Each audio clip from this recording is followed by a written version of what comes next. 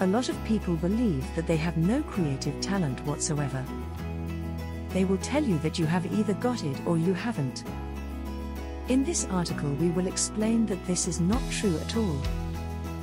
The truth is that it is never too late to develop your creativity. You were creative as a child. Every human being is born with the skill to create. As a young child, you had no inhibitions about expressing your creativity, and you did this often. You made up things at will, and you did those first drawings that your parents praised you for. Kids tend to play a lot of games together and they find it easy to invent new games all of the time. It just comes easy to a young child to think of stories in their head and to invent whatever they want. A child will never be harshly judged for this. Society stifles creativity. As a child gets older and starts to attend high school, they are usually subjected to judgment from their peers and their teachers. Society expects them to think and act in a certain way, and there is no place for creative ideas here. It is indeed rare for a school, or even a college, to encourage a lot of creativity.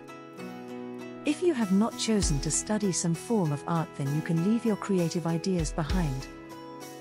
You can be lucky to land a job that encourages creativity, but there are not too many of those to go around normally. Usually, you have had all of the creativity knocked out of you by this stage anyway. You can develop your creative skills. Always bear in mind that creativity is a skill that you have always had and always will. It doesn't matter how much society has tried to stifle your creativity, you can always return to it and develop it.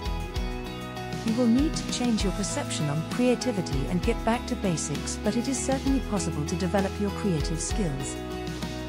At this point, you may be struggling to come to terms with the fact that you did have creative talent and that it has been stifled over the years. Think back to when you were a child and remember some of the things that you did. What games did you play? Did you invent any stories or characters? How about those drawings you did as a kid? If you are able to discuss this with your parents, brothers and sisters, or childhood friends, then do that.